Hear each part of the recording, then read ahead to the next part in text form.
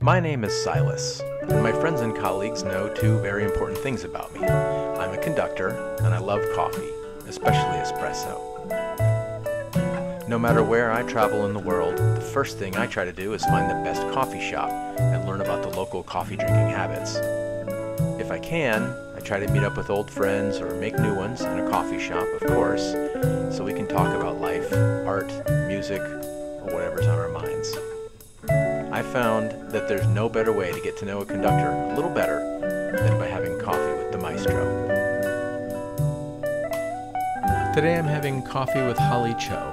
Holly is the assistant conductor at the Tonhalle Orchestra in Zurich, Switzerland, and music director of two local community orchestras there, the Orchesterverein Wiedikon and the University of St. Gallen Alumni Symphony Orchestra. She also holds a prestigious fellowship in the German Music Council's Dirigentenforum, and now I'm going to catch up with Holly over a coffee.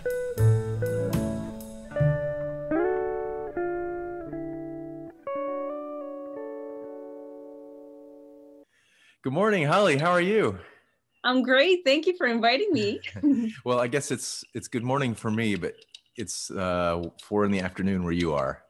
Yes. Yeah. Where are you, by the way? You. I'm currently in my uh, flat in Altstetten, which is part of Zurich. Okay. So you, you living in Zurich, but you I think spend a lot of time traveling around. Yes, yes, yes. I've been very fortunate to be studying here um, with Johannes Schläfli at the Zurich University of the Arts. And part of our master's program is to be traveling around in different countries within Europe to have opportunities to conduct.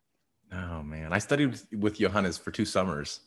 Really, I didn't know that. Yeah, he, he was um, he was teaching in the Czech Republic with Kirk Trevor. Uh, ah. Oh, it was a long time ago, 15 years ago or 12 years ago, and something like that. Yeah. And um, and then I went to one of his workshops. I visited one of his workshops in northern Czech Republic, and I'm trying to remember the name of the town. It's just south of the German border, but anyway, beautiful area up there. Mm-hmm. Nice. And what is the name of that town? I guess it doesn't matter. I don't know. yeah, Johannes is great. He's so powerful. That's what I uh, really great. liked about his conducting. Yeah, he's the best teacher I've ever had, like hands down. Yeah, I feel very fortunate to be working with him yeah. Well my day has just started so i have to have my um my coffee in the morning. So i know it's the afternoon. Are you drinking something different? I am. I'm trying to wean myself off from coffee so i am drinking honey water. It's not really honey tea but just hot water with honey. Okay. Well sounds delicious. Yeah. I've been drinking it since i was a child. I, it's just like a very comfort food kind of a thing. Yeah. Yeah so I'm curious about your um, like upbringing and stuff because I know that you were born in South Korea, but you grew up in America, mostly in uh, California, right? Mm-hmm, mm-hmm. Okay. Yeah. So, so, I was born in Seoul, and when I was an infant, I moved to Daegu, uh, which is more south of Seoul. Okay. And that's where I grew up until I was age 10, 9, 10. Okay. And then my family went uh, came over to the States and yeah, I moved around a lot. Uh, I was first in Orlando, Florida, then Texas for a year, wow. a little bit longer in Orlando, and then Georgia and Dunwoody, which is near Atlanta, and then California for 10 years, and oh. then Boston for a year and a half to do my first master's degree at the New England Conservatory and then Zurich. Okay. Well, then we have this in common. We've both lived all over America which is yeah. kind of interesting because you know from Florida to California to Boston, different to Texas, mm-hmm. different countries basically. Yeah, yeah. A and, little bit. And how was your experience living in different states? Um, well, it's funny because I I'm I'm from Texas, but I lived in after Texas, I lived in California, and then I moved to the weird. East Coast, and I lived in New York City, and I've lived in Virginia, and and then I moved to Colorado, and now I live in Kansas. Mm-hmm. So I feel like I've done the West Coast, the East Coast, Texas, which is its own thing. Um, Virginia is kind of the South, but not really. And mm-hmm. uh, and then I lived in the mountains, and now I live in the plains. And um, I think people are people everywhere, even in other mm-hmm. countries. But um, sometimes the eating habits and just yeah. Um, the friendly factor goes up and down. So I don't think Yeah. New Yorkers are not friendly. They're a different kind of friendly. They're to the Yeah. point. They everyone's in a rush, so we don't have time to like chit chat. But now I go in in Kansas, I walk into a place, and before you can do any business, there's five minutes of like, how you doing? How's it going? Oh, what with the weather? What are you doing? Then I'm like, okay, I'm here to do business. That's funny. I felt the same way when I moved from the West Coast to East Coast to Boston. Um, Boston tends to be a little bit more like New York, I think. Also, Yeah. I'm sure the weather has a lot to do with it. Yeah, Um, maybe people are in a rush and it's cold. Yeah, yeah, exactly. Yeah. So what inspired you then to move to Europe?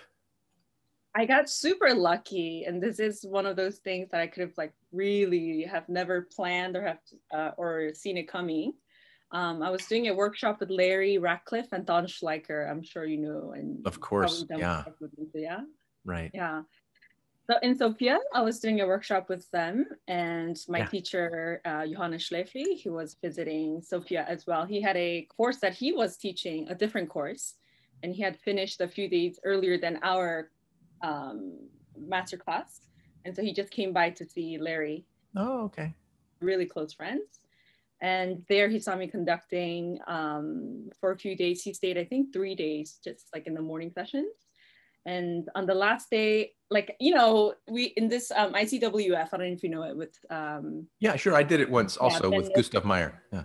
oh, cool. Yeah. So, you know, there's like 30 conductors there, and everybody's like talking, who is he? Who's this, you know, European teacher? Uh, why is he here to watch? Or, you know, if there was a lot of small talk going around, and I had no idea who he was. And on the last day, I just heard that he was teaching in Switzerland. Nobody told me that he was like a great teacher, you know? Yeah. And on the last day, um, very stupidly, I went up to him to introduce myself, but to ask him, Hi, like, can you recommend me some schools in Germany? I, yeah. I had no idea who he was, really. Oh, that's Just funny. his name. Yeah. And I, at that time, I was really interested to study in Germany yeah. after NEC. And I was just finished with my first my, uh, first year at New York Conservatory. And so it was that summer before my second year. And then I was trying to plan ahead. Okay, I need to apply, you know, next next year where I will, you know, end up for another degree. And I was thinking, okay, Germany sounds like the place to be. And I asked Johannes like for recommendations. well, it worked, I guess. Yeah, and he gave me some school names and teachers, and then at the end he said, "But you should also consider my school." Yeah, and so we kept in touch. And I was at that time, that following fall, I was applying for the Fulbright program, and part of the application you need an um, advisor from overseas where you will be based from that school to kind of be the advisor and overseer of your project that you're applying with. So I asked him if he would be interested to interested to be my advisor for this Fulbright program, and he agreed. So we stayed in contact because of that. And then a few months later, in um, actually it was the morning of Halloween, okay. I got an email. I woke up and I got an email from Johannes Schläfli, as- and he said, "Actually, there's a spot opening up next February. Would you be willing to come?" wow. Just like that. And I was really nervous, and you know, woke up with like a scream and ran over to my roommates, like, "Look what just happened!" That's great. um, so basically that's how I got into Zurich. Um, I came actually on March 2nd. I still remember the day because March 1st I had to really squish my last semester at NEC into like six, five, six weeks of um, of the first half of the semester to finish my degree. So I flew over on March 2nd. I arrived at the airport and then I get an email from Johannes and he says, if you're here, you should come by to school we have a lecture or conducting lesson now. So from the Hey, uh, airport, uh, hello, I just landed. yeah. So there was no no like time for adjusting. It was just jumping into the next degree. Okay, here we start. Yeah, and that uh, so I arrived in March, and in May I came back. I flew back to Boston for the graduation to finish my degree. So I was kind of overlapped a few months of my Unbelievable. Yeah, I guess you weren't taking any academic classes at NEC at that point, or you wouldn't have been able to finish them. Exactly. Exactly. So I just had like a piano class that I needed to do um, as an elective course. Yeah. So I asked my piano teacher to give me like you know, six hours in one week rather than 30 minutes each week. It was just yeah. like cram everything what we had left over. And my conducting teacher, Charles Peltz, was gracious enough to let me finish early as well. Yeah. Wow. Well, obviously they saw that it was a great opportunity and they didn't want to hold you up. Yeah, I'm very thankful. Wow, that's amazing. What a fun story. And I, you know, I don't I don't think you're to blame for not knowing who Johannes Schläfli is because he's I think he's quite famous in Europe, but American right. conductors seem to not know who he is unless they have done one of his workshops or something like that. But right. I have a it's feeling that in Europe he's much more well known. Yeah, definitely, definitely that's the great thing about Europe too, that the countries are so much smaller. So the distance is, you know, much smaller yeah. than the States. And so once you're well known in one country, it's easy to get yourself known in other countries. Now you said before you were interested in studying in Germany. That's what you asked Johannes about. Yeah. So why, why were you so interested in Germany? And then by the way, I'm curious when you started speaking German because you speak it really well. I know you've been living there for a while. So how did, when did that happen? Oh geez. If I, I mean, I actually feel still a bit ashamed not to be able to speak all that fluently. Um, I mean, I can speak on a you know small talk basis um, when I'm at the restaurants and coffee shops. I mean, these things are no, are not a problem. But when it gets to more of a deep conversation, then I'm I'm still not there yet. Hmm. Um, I wanted to study in Germany only because of just from hearing from colleagues their own experiences and of course, in Berlin, you have like seven opera houses and the Berlin Philharmonic and many orchestras in the same city. And I remember that was one of the advice that I got from older um, doctoral st- students who told me when you choose your school, make sure there are as many artistic things, organizations around your school. So you, mm. you're always able to attend concerts and be inspired. Yeah, good um, And at that time, yeah, I was only focused on Germany. I didn't even think to think outside. I was, I don't know, maybe a bit ignorant and naive. I don't know. Yeah. I didn't know either. I, when I was when I was much younger, I studied Italian because I got it in my head that Italian was the language of music. It kind of is, you know, because uh, you know, allegro, pianissimo, and so I studied Italian. Italian for a long time to get good at it. And then when I was in my master's program, by the way, I went to Cal State Long Beach as well. We have that in common. So when I was at Cal State Long Beach, I had an opportunity to study. They had an exchange program with a conservatory in Germany. And um, the professor, I was actually teaching at Cal State Long Beach. I was teaching music theory, and the professor from Germany came to my office and said, "Do you have any students that would like to study in Germany?" And I was like, "Uh, yeah, I would." and and then I went to Germany, and that's when I realized that uh, well, European musical culture is rich, of course, but all of the great composers from way back that we think about Beethoven and Bach and Mendelssohn and Schumann and Schubert, they're all Germans.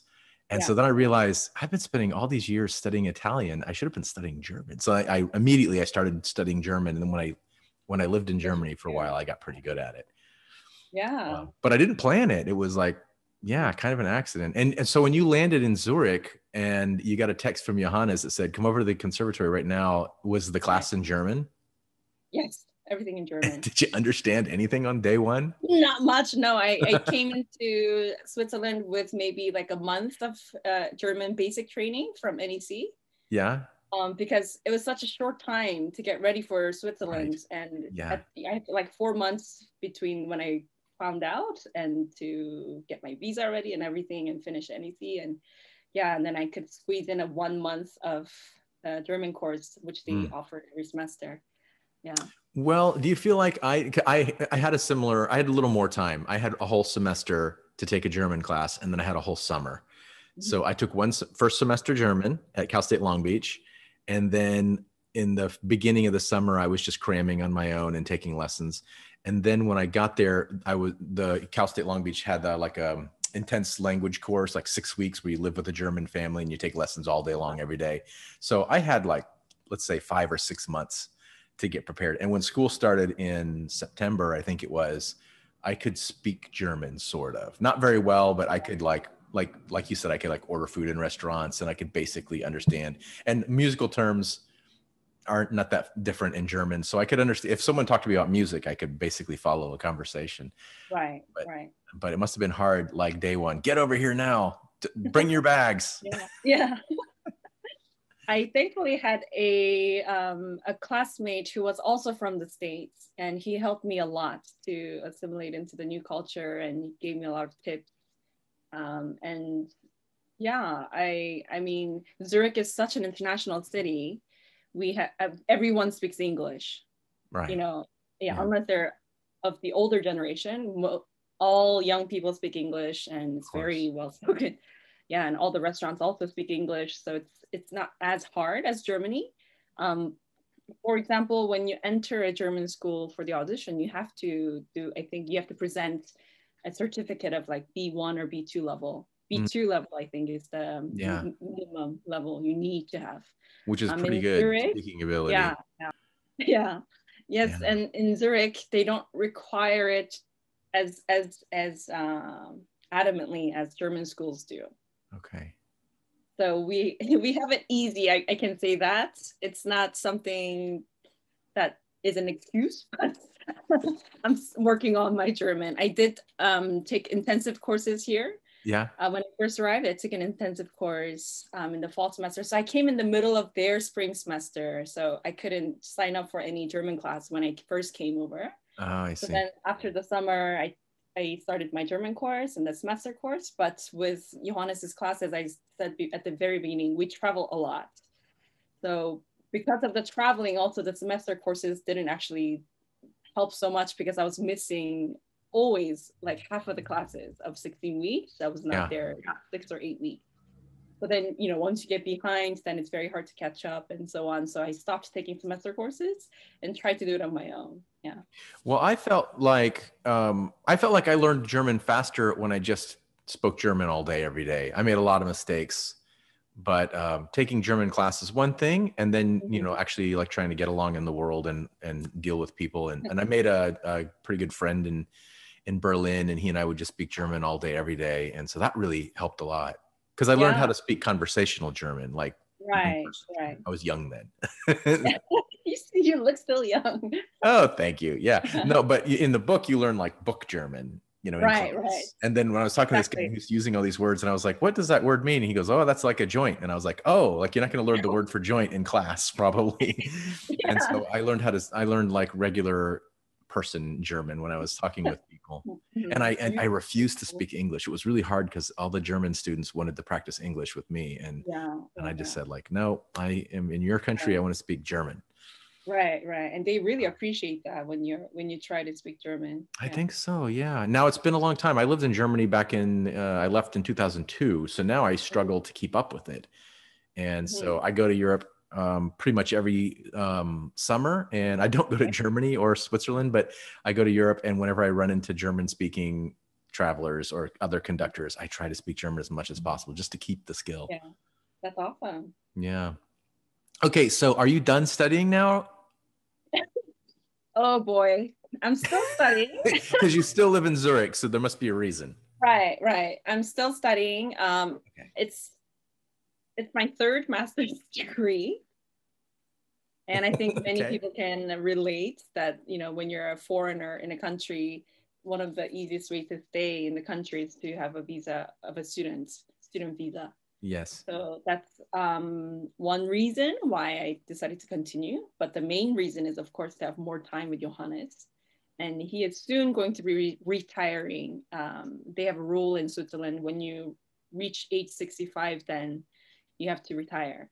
So to get the most out of him, I'm, I have um, decided to extend my studies. Uh-huh. But I'm also teaching at the university now, um, not as a not as like an official professor's title at all, not like that at all. But I'm teaching um, or uh, beginning conducting classes. Great. Yes, and I have a, also a small um, assistant job at the school, so I help organize ensembles with musicians, you know, each Tuesday and Thursday, and have to get the parts, the music ready, organizational stuff. Um, but I, because of those two things, also I decided to stay. Um, and now I am assisting at the Tonhalle Orchestra Zurich with Paavo yeah. So I, I, heard your contract was extended. Yes, yes, I'm so happy and thankful. Great. Very thankful. Yeah, especially in the time of the pandemic, I'm very thankful for the job security. Yeah, and you're working elsewhere. Don't you have another directorship somewhere? yes, in Zurich, I have two amateur orchestras where I'm the music director. Okay. And one of them is a string orchestra, which was fantastic for me because I'm not a string player. Okay. Uh, I used to play clarinet. I majored that as my bachelor's degree. Yeah. And it's great to be able to work with just strings and to learn, okay, the bowing differences and technical things. And our concert master is one of the sweetest people I know, and she's very helpful to help me learn the language of a string and what changes can easily change the phrasing, you know, with bow changes and playing at the tip and da da da da da. So it's great to have that orchestra. Um, it's been a huge growing experience for me with that orchestra. And then with the other orchestra, it's a symphony orchestra made up of business people um, who graduated from the University of St. Gallen. And St. Gallen is known for, I think, business, economics. They're on, yeah, I think they're famous for economics. And the alumni, alumni of this university have joined to create this orchestra, which was founded only two years ago. Mm-hmm. Um, but because of the pandemic, of course, our second season was completely yeah. Sorry. yes, yes. So we're trying now to rebuild step by step to start our third year together, but rather our official second season. Yeah, yeah. amazing. Amazing. You're doing so much stuff there. And I have a feeling that uh, I don't know if you're still traveling around, but before the pandemic, you were guest conducting and, and getting around Europe a little bit too. Yes, conducting, I've done only actually like a couple of times, um, a few times in Germany and once in Denmark. Yeah. And yeah, I still feel like I'm at the very, very, very beginning of my career. And slowly, hopefully, you know, more doors will open. But yeah, I'm still at the very humble stage. Yeah. Yeah. Well, you're doing great, and um, I'm I'm so jealous that you're there studying with Johannes. I'll tell him hello. It came time for me to do my doctorate, um, and uh, well, we don't know each other very well. We, you and I, barely know each other, but but uh, so I I got my ma- I got my master's in music composition at UCLA. I got I went for a second master's at Cal State Long Beach, which I never finished, by the way but that was in conducting. And then I moved to Germany. And then after Germany, I moved to New York, which is why I never finished my second master's degree.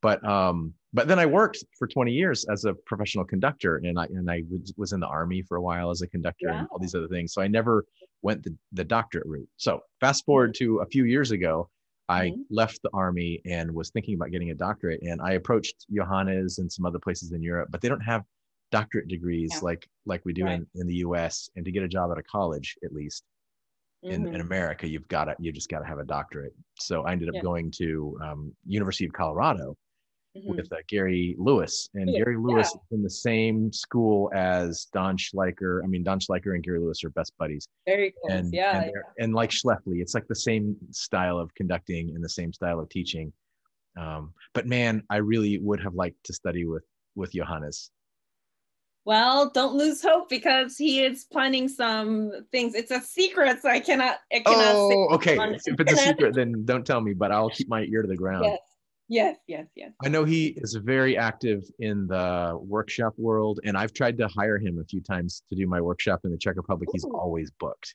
He's always booked. He goes, oh, well, that's mm. what I'm doing my workshop in this place. That's what I'm doing my workshop. Well, what about this month? Oh, I'm doing my workshop in this place. I think, okay, Johannes is he gets around a bit yeah you have to book him at least two years in advance i think yeah. And so i think when he does all these workshops do you travel with him? Do you go study with him in these various places or are those for him and other students? Um both. So with within our school system we have i think about five projects per semester. Some are big projects some are smaller projects.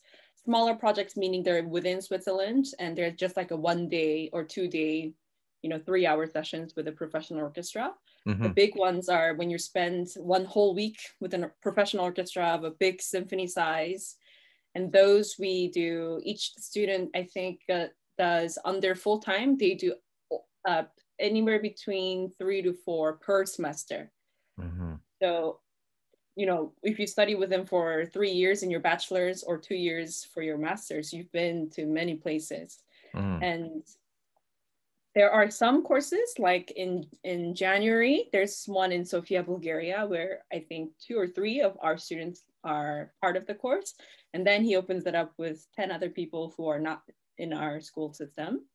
So then other people also have a chance to study with him, and Great. he does that also in the summer a couple of times. Yeah, also in Germany in Konstanz.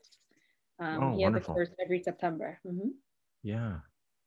Wonderful. Wonderful. I remember the town where he had the workshop in the Czech Republic. It was Teplice. Ah, and okay. the reason I the reason I went there to visit with him is because I had some friends that were studying in Zurich, and they they told me, "Oh, we're going to be in Teplice." I was in it's also in Czech Republic, and Okay. um, and it was a beautiful town. But I remember the class; it was probably twelve or fifteen students, and I think three or four were from his class in Zurich. So that makes sense what you're saying.